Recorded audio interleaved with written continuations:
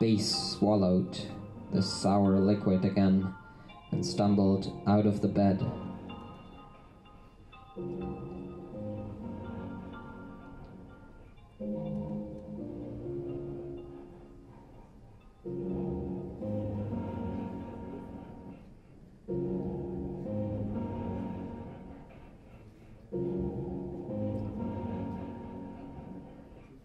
He was too perplexed take off the headset that now displayed A's big eyes again and her luscious lips that blew him a kiss.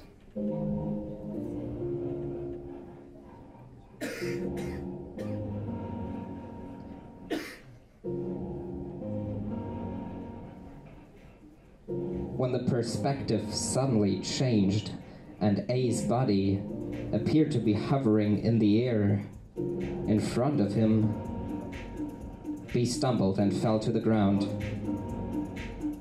He landed on something hard. Stinging pain went up his spine.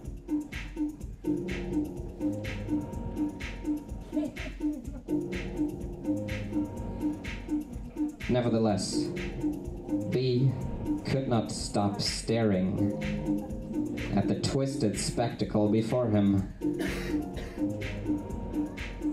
And when he stretched out his aching body and gazed up, he saw A looking at him with an expression he had always interpreted as deep affection and a sign of love reserved solely for him.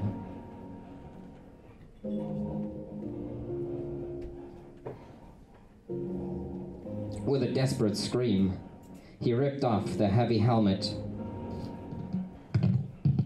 and A's actual body appeared in the kitchen before him.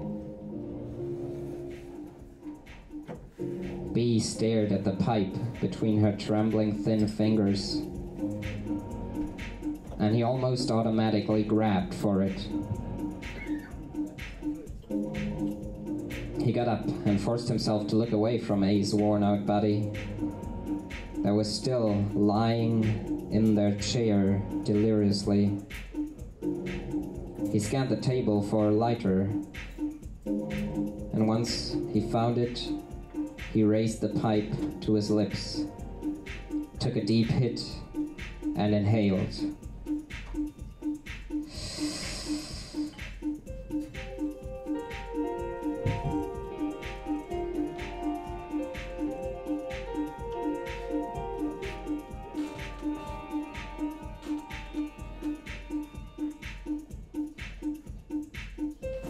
He closed his eyelids and watched a spectacle of colors explode before his inner eye.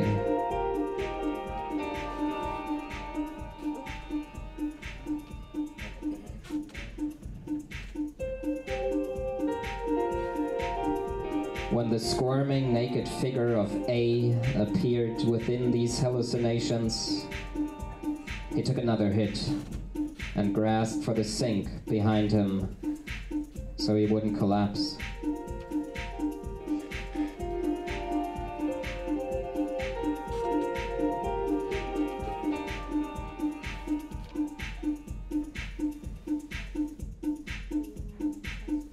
When he opened his eyes again, he saw his actual girlfriend before him. And though it was hard to shake the images of her that had just been shown, he realized that she had to be cold and in pain.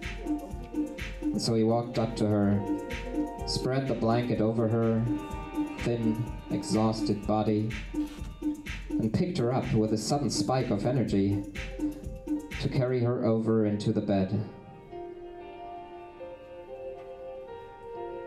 Then he dragged his aching bones back to the kitchen, coughing and trembling, and leaned on the sink again.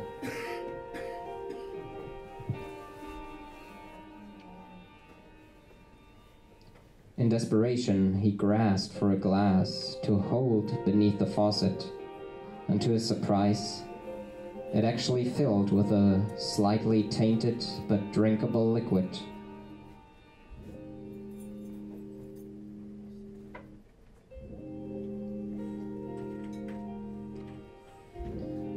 Water again. She, she must have paid the bills, B thought, and felt guilt and shame wash over him.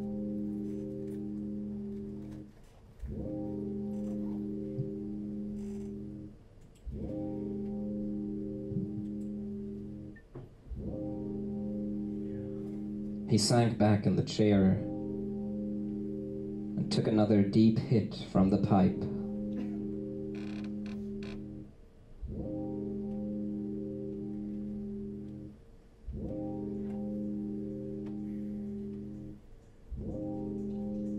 He noticed that A had also placed a few new plastic baggies onto the table, besides some more thick stacks of dollar bills. She's a good woman. She's a wonderful woman. She provides for us. She did this for us. She did this for me. B said to himself, and filled the pipe with a few more crumbs.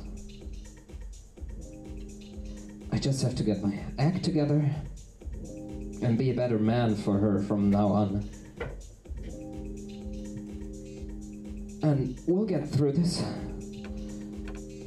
he muttered as he carried the pipe over to the bed and lay down beside A.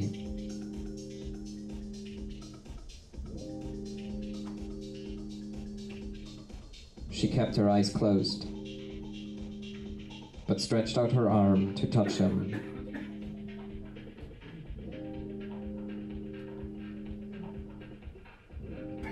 Then her hand wandered down to his and when she took the pipe and raised it to her lips, he lit it reluctantly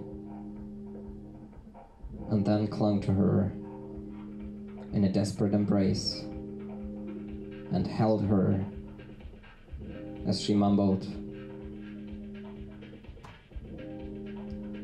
I did this for us. I did this for you. I did this for us.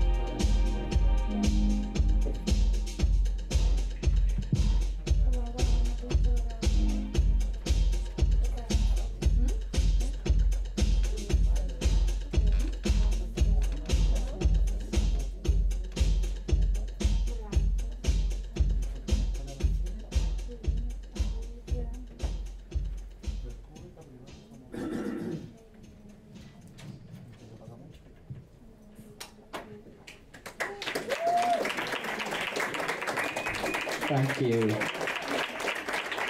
Give it up for Kopffarben.